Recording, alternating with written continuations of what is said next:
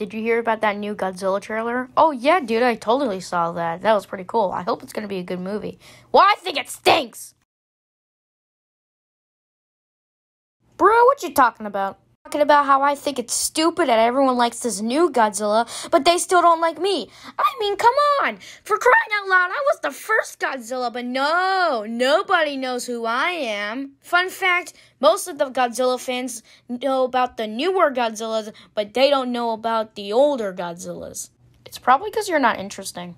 What you just say about me, boy? Yeah, I kind of have to agree with Legendary. You're kind of not interesting. I mean, we're the most interesting Godzillas here. I agree with Shin. For starters, you kind of have no color. It's because I came out in 1954! I mean, come on! Everything was in black and white back then! Which also makes sense because you kind of also have like that old, like, oh, back in my day style. How dare you! Back in my day! Uh, uh, oh, I actually see that now. That still doesn't change the thing about how I'm unrespected by the other Godzillas. I think this Godzilla is taking the spotlight away from me. And another thing is. Uh, he's standing right behind me, is he? Yeah, and I'm about to give you a knuckle sandwich. Huh, that actually sounds good. Uh, I think he's talking about the punching kind.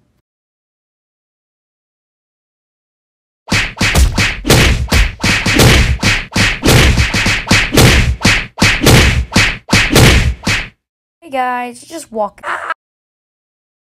Anything else to say about my new trailer for the new movie?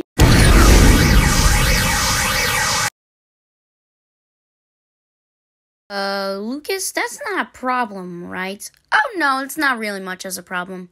Phew.